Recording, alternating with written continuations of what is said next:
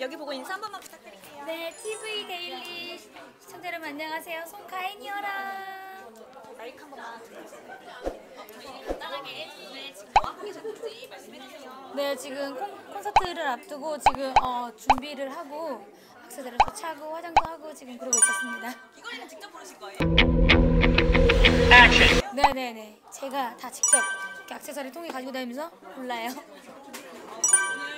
마지막 콘서트를 앞두고 있는데 소감 한마디 부탁드릴게요. 어, 벌써 이렇게 시간 가는 줄 모르고 하다 보니까 벌써 마지막 콘서트가 되었습니다. 네.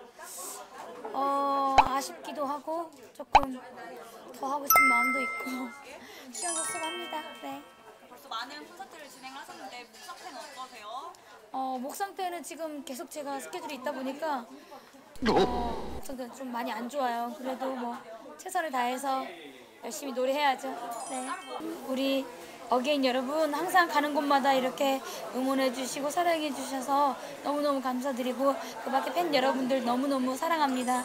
너무너무 감사드리고 앞으로 아직도 부족하지만 앞으로 더 열심히 하는 가수 송가인이 되겠습니다. 감사합니다. 네, 마지막으로 끝 인사 한번 해주세요. 네, TV 데일리 시청자 여러분, 네 앞으로 송가인이 열심히 할 테니까 예뻐해 주시고 사랑해 주세요. 감사합니다.